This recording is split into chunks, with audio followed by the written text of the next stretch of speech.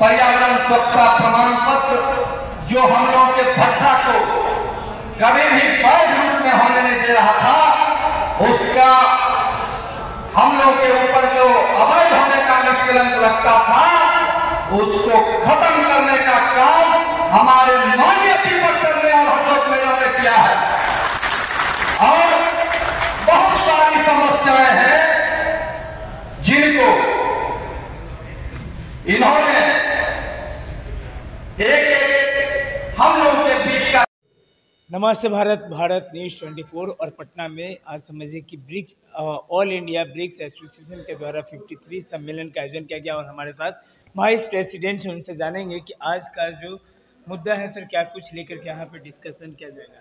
हम लोगों का आज बिहार ईंट माता संघ का पचासवा साल संगठन का पूरा हो रहा और इस मौके पर पूरे देश के ईंट माता और all India brick tiles manufacturer association के सारे लोग आए हैं।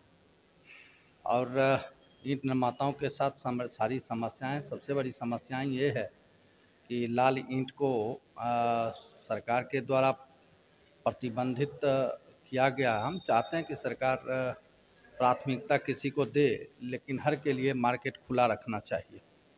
दूसरी हमारी सबसे बड़ी ये समस्या है कि जो बीस साल से बकाये टैक्स हैं उसको माफ़ी करके जुर्माना शुल्क माफ़ करके हम लोगों का मूल राशि ले लिया जाए। और यही सब बात है सर। क्या नाम आपका? मेरा नाम मुरारी कुमार मन्नू बिहार ईंट माता संघ अध्यक्ष। जी सर आज हम लोग की बिहार की पचासवीं वर्षगांठ है। और हम लोग धीरे धीरे आगे बढ़ते हुए हमारे आदरणीय अध्यक्ष भी गए, बिहार के अध्यक्ष तिवारी जी, इनके नेतृत्व में हम लोग आज पचासवां वर्षगांठ मना रहे हैं।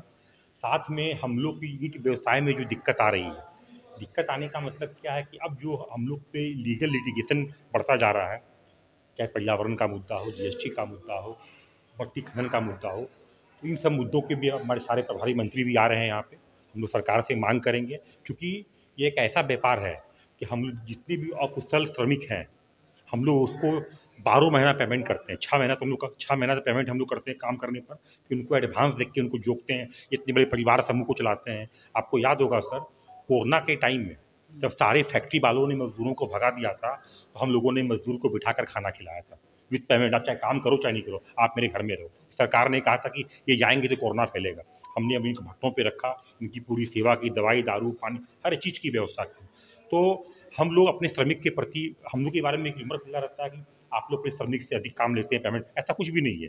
हम चाहेंगे आप लोग भट्टे पर आएँ वास्तविक स्थिति को देखें किस तरह हम लोग श्रमिक को प्रेम से प्यार से अब वो पुराना कल्चर भट्टा खत्म हो गया। अब जो सिस्टम भट्टा हम लोग फॉलो कर रहे हैं वो काफ़ी ऑथेंटिक है और काफ़ी अप टू द मार्क है। काफ़ी मतलब ऑफिशियल तरीके से प्रोफेशनल तरीके से हम लोग काम कर रहे हैं। सरकार के सारे गाइडलाइन का पालन कर रहे हैं और सरकार से हम लोग मांग करेंगे कि हमारी हर उचित मांगों को मांगा जाए। हमको मेरा नाम अमित कुमार कटारू का मैं भागलपुर से हूँ और मैं भागलपुर का महासचिव हूँ।